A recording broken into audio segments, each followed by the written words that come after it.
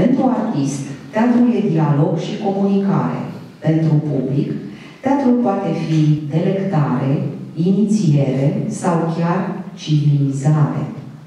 Teatrul, în general, nu are un singur sens și nu suportă o singură definiție.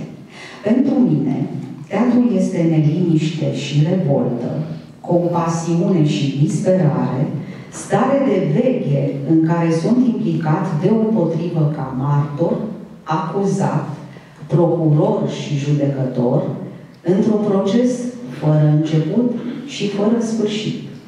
Teatrul este întâlnirea dintre public și actori, dăruită de dramaturg, inițiată și călăuzită de regizor prin expresie scenică.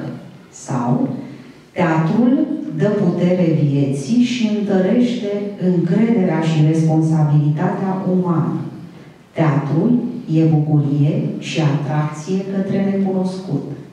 Teatrul, până la urmă, este o relație erotică, un frison în îmbrățișarea scenă publică.